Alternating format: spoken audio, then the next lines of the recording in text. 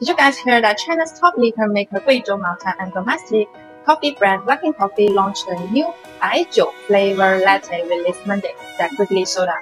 But personally speaking, I don't like that smell. So in today's video, I'd like to bring you our coffee vending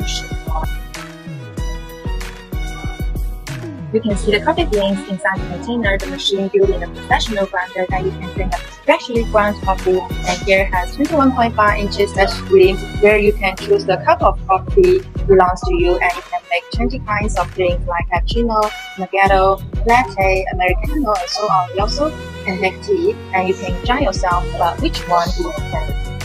I like Americano better because there is a saying in China that life is sweeter than Americano.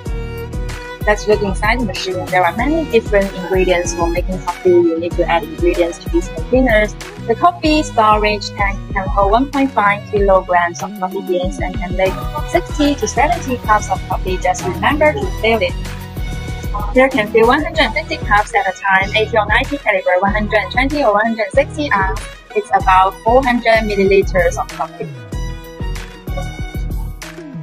The post line will go on when the machine starts to grind coffee beans. You need to wait for a minute. When you finish your payment, you can get your coffee in 48 to 50 seconds. If you don't like the color and stickers, you can be customized and like just the coffee. The morning cup of coffee sets the tone for the whole day. I'm used to having a cup of coffee before my work. What about you?